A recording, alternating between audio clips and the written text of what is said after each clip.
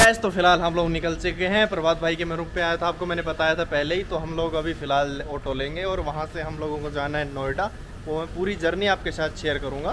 तो अभी फ़िलहाल निकलते हैं ऑटो पकड़ते हैं सबसे पहले। जगह खाली है। तो फ़िलहाल यहाँ से हम लोगों ने ऑटो ले लिया है और अभी हम लोग बढ़ रहे हैं मेट्रो की तरफ़ गए हम लोग पहुँच गए तो मैं अभी रिपोर्ट होता हूँ तो फ़िलहाल बढ़ रहे हैं मेट्रो की तरफ़ गए तो जैसा कि आपको पता है कि विवेक सर से मिलने हम एग्जामपुर के ऑफ़िस जा रहे हैं नोएडा प्रभात भाई हैंकी ले रहे हैं? वो भी मेट्रो की तरफ़। तो दोस्तों लिफ्ट में बिल्कुल भी जगह नहीं थी ओवरलोडेड हो चुकी थी। पहले तो हम लोग अभी सीढ़ियों से जाना प्रेफर करेंगे।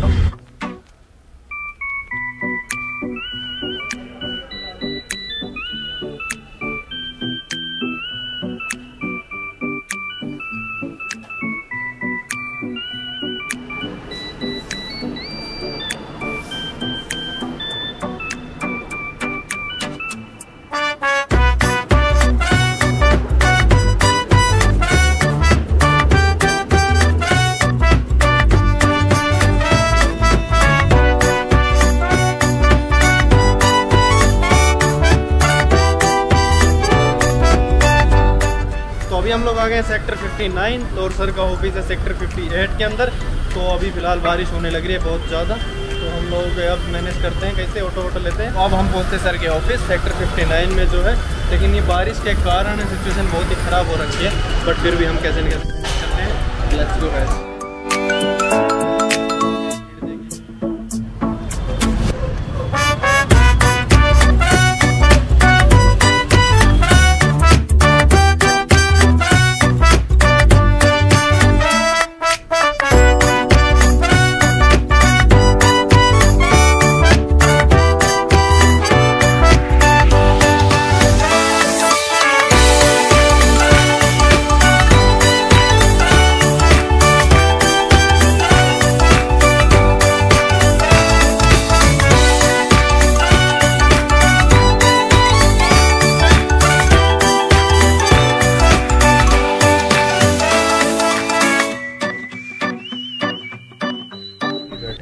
एग्जामपुर के बस में मैं और प्रभात वेट कर रहे हैं अभी।